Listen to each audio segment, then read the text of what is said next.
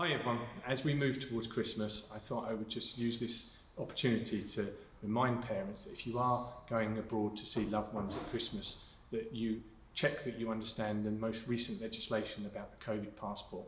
I've put a web address at the bottom of the screen here and I encourage you to go onto there to check the information, but if not, contact the country that you're going to and the consulate and the embassy to find out the latest information.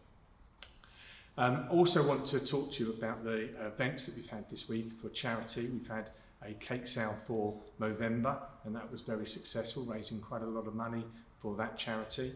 And we've got our Christmas jumper day, which is coming up on Friday the 10th of December, and hopefully all the children will get involved in that.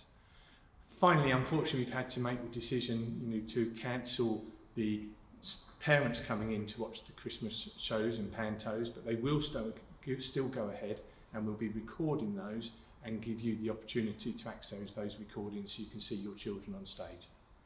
Thanks again. Have a good weekend. Speak to you next week.